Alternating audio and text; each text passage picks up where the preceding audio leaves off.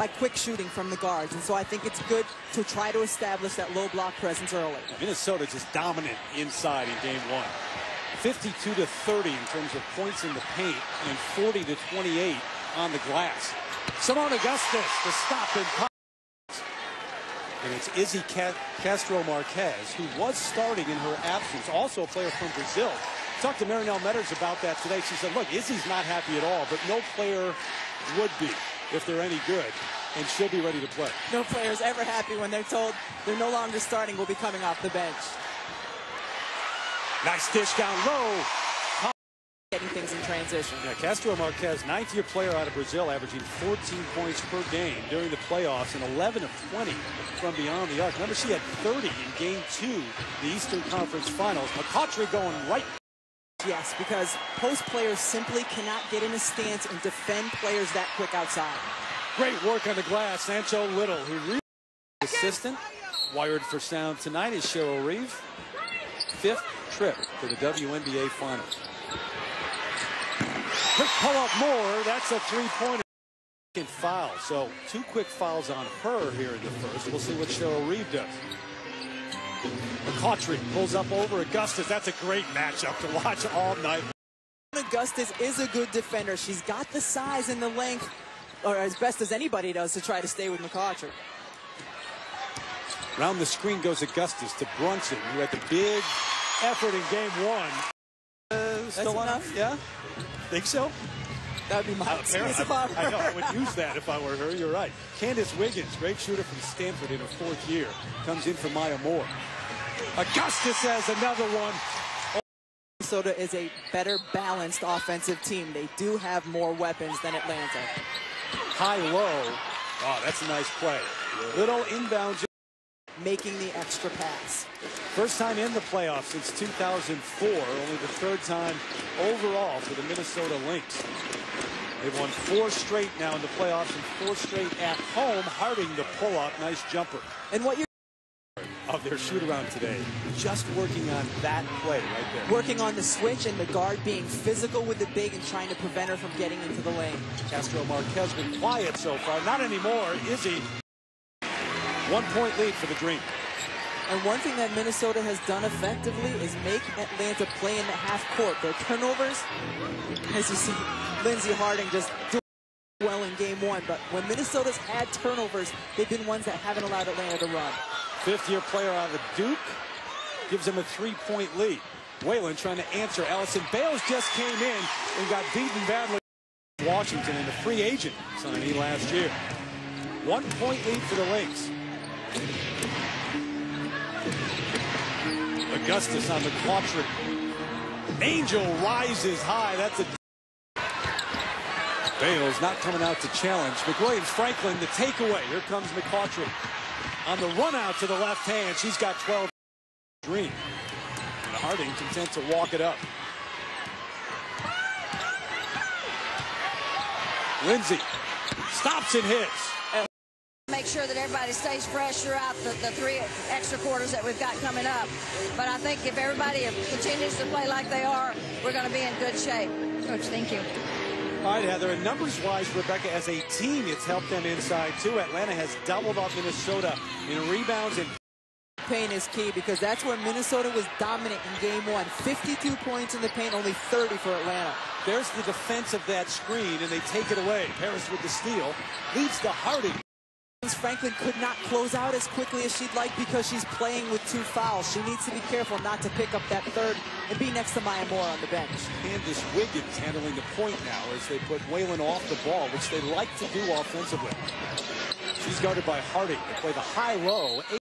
De Souza not in there at the moment. Castro Marques taken away. Here comes Wright. And Whalen open in the corner. Get the offense.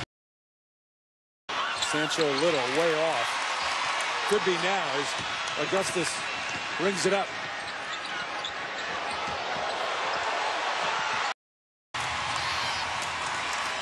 And this might be the run that the crowd was waiting for. And Wright's going to slow it down.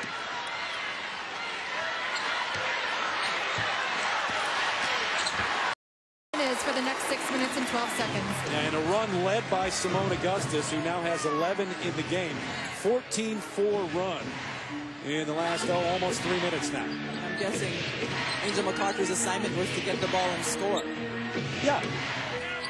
Well, she does. You know, she does that pretty well. She does. Minnesota does. Both teams like to get up and down the floor, but if this is going to stay a half-court game, I think eventually that plays into the favor of Minnesota. Minnesota had the edge in game one by eight points. McCoughtry.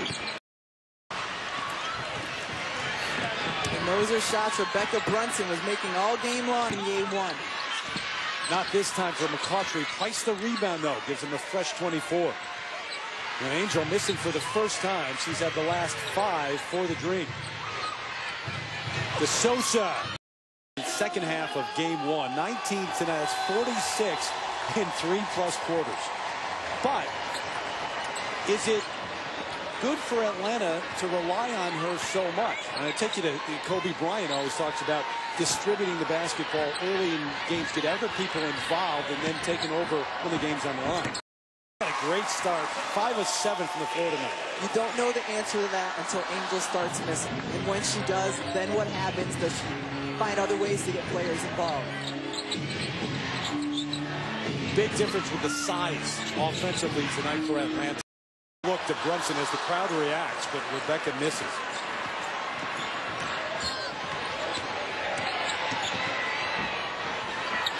Inside out. Bales can shoot the three. Do that and just don't rely on the one-on-one breakdown ability of their perimeter players. Seimone Augustus, difficult start in the opener. She was one for seven to start the game. Not tonight, though. Five of seven from the floor. Hanging in the air bucket for Seimone Augustus. Seimone Augustus is the one player on the Minnesota team who has the green light to go one-on-one at any point. Sosa.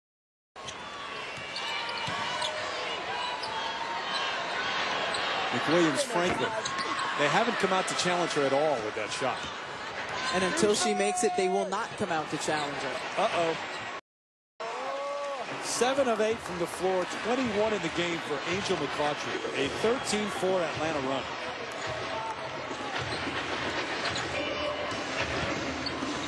Whalen controls.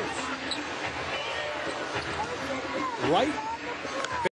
Minnesota has played for the entire second quarter, much of the first without Maya Moore. Picked up three quick fouls.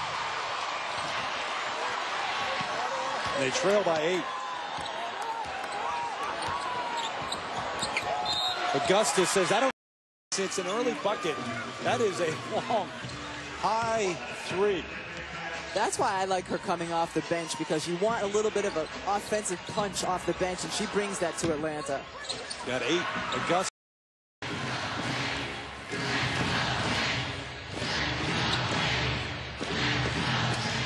Fifty-five points in the first half of the Dream. Not far behind the Lynx. Here comes Brunson for the screen. Seimone over to Rebekkah. McWilliams Franklin. Five point lead. Shot clock off. Final possession. McCoughtry. Tonight. And, and Minnesota really hasn't attacked her and made her decide whether or not she's going to let up and, and not get those fouls. Backdoor cut. Good look. Whalen reverses off the glass. The Dream has done one thing very well, too. They've taken this crowd out of it to this point. They've not been a major factor. Whalen. Pick and roll. It looks that easy. It is. Time we've seen Angel McCoughtry save a layup by coming from the backside and tipping the ball away. Maya Moore, 3 for 12 in the series to this point.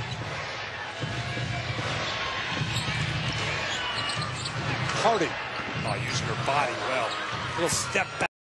Much as 12 in the first half, but even in the third, and they, teams were tied 62 all going to the fourth. So it was a late run by Minnesota that got them a win in game one. All alone the bucket. And great look by McCoughtry. You have to respect. You know that she's going to be looking to create her own offense. Nice dish. Brunson looking to make a move. And does inside over Alison. McCoughtry with 27 in the game. And Seimone Augustus has yet to score here in the second half. 19 in the first. There's their first bucket, first points of the third quarter. I said it only holds about 17. She said, let's move it. Play in the football stadium. Whalen. Somehow, someway, finds a way. No, they've been all over it, and I think that was a focal point from game one.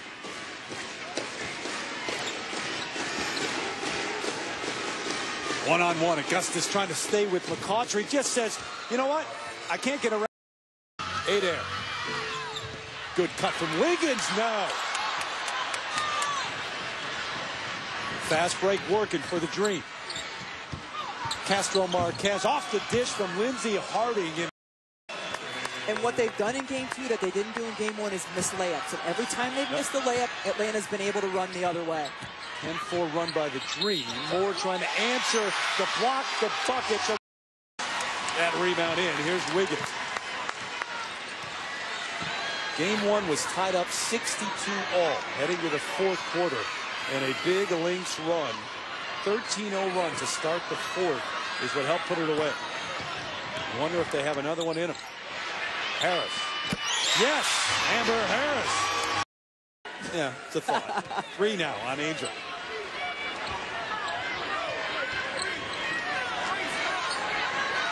Whalen, just three of eight in the game. He's got four assists and eight points. Adair wanted it. Augustus keeps it and draws another foul, this time on Price and star at Minnesota. And she's just tied the game up at 74. 20 to 19 the last time the Lynx led. De Souza. She get away with a walk? Always telling what the offensive set is coming out of a timeout. Using their bigs, Lyttle steps back after the.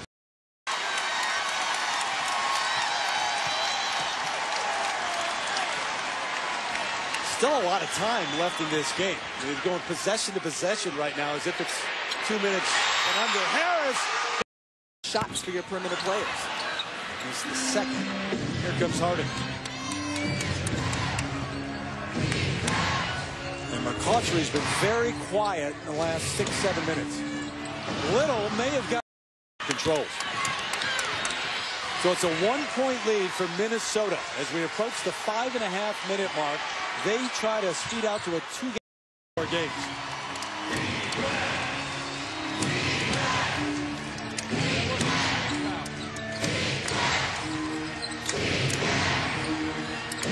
Augustus matched up one-on-one with McCautry. The switch, he goes by Brunson. Great look to Lyttle. The when I had that happen. If you go by someone, where must the player be? Behind you. Behind you. That's what happens. Terry Gannon, Rebecca Lobo, Heather Cox with you here. Fourth quarter of game number two. Atlanta with that two-point lead, looking to steal one on the road. Moore, who's Justice is holding her ground. That is the right no call by the official. chance to take the lead now. Harding wanted to push by Whalen, doesn't get it. Augustus, career playoff high. It's a 15 footer. It's Erika de Souza. 7-0 run by the Lynx, who may try to work some clock.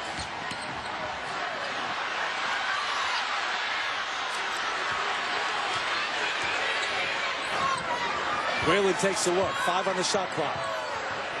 One-on-one with Harding. Off balance. Off the glass by Seattle. And it's hard to win on the road. And they've been in both of these ball games until the end of the fourth quarter. That has got to be one encouraging thing they take home with them. Harding the deuce. And that might do it there. Moore looking for somebody and crowd on their feet here in Minneapolis. Easy lay-in for There, and that will do it. On the board for the Lynx. Harding, I believe it is. Touched the basketball after it went through. 5.9 left. Tipped out Castro Marques. That's a three.